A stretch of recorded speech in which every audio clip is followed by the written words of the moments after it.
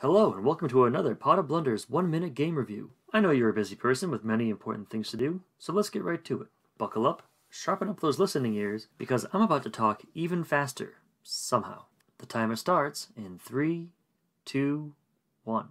Little Katy's Tea Party is a diceless, GMless RPG in which players adopt the roles of a little girl's imaginary friends, who are gathered for, you guessed it, a tea party.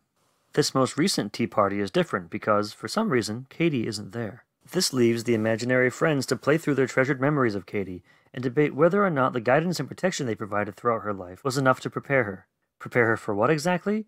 Well, the provided scenarios cover a wide variety of topics, from welcoming a baby sibling into the family to being newly homeless in a near future dystopia.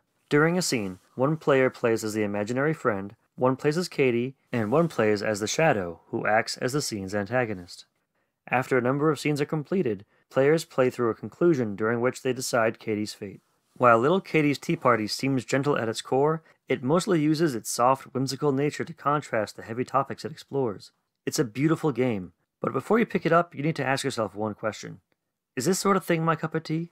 And there you have it, another one minute game review on the books.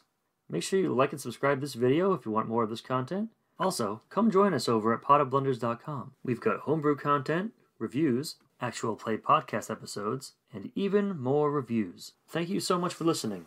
And as always, may all your D's be 12s.